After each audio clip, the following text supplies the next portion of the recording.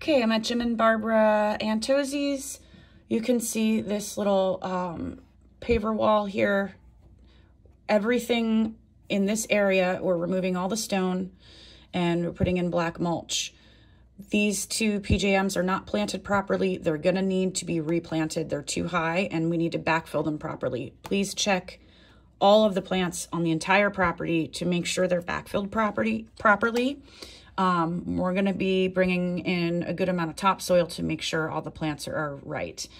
The Nandina at the mailbox, again, not planted properly. Please backfill, top dress any black mulch.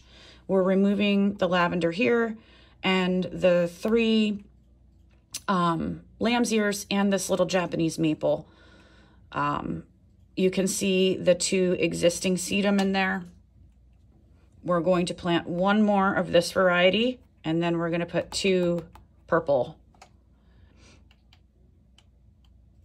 Um, right here, we're going to add one more purple heuchera, just like these. Um, the existing, we're going to cut back a decent amount of the old foliage. We are going to be removing and replacing this hibiscus with something else. These three black mondo grasses are going to be transplanted right here. One, two, three.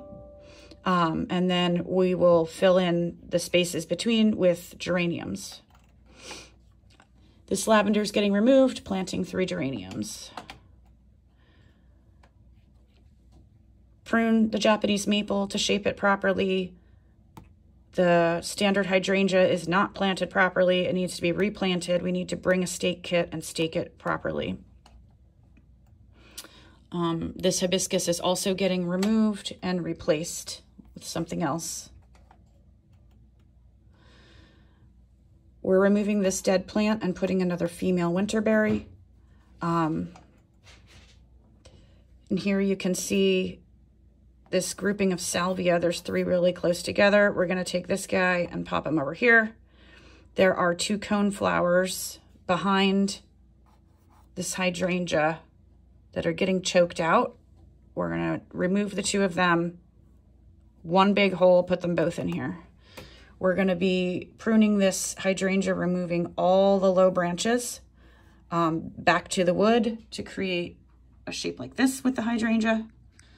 Um, so it's not laying on the ground. And that's showing you the two cone flowers to transplant. There is a winterberry right here that is planted way too deep and it's really struggling. So we need to elevate that, put soil underneath, remove this hosta, remove this daylily, remove uh, behind this red twig is a little Nandina, remove that. Just backfill all of those holes with soil and top dress the mulch. The Nandina here in the backyard is growing through the fence, so prune that back. Um, None of the shrubs in here need pruning. We will cut back all of the liriopes and grasses. Um, the roses are fine. They don't need a pruning this year. Um, this grass will get cut back. Please check this lilac. Um, it's struggling. I don't think it's planted properly. Deadhead this hydrangea here. Remove this little blue star juniper. We're removing this lavender, cutting all this back for winter.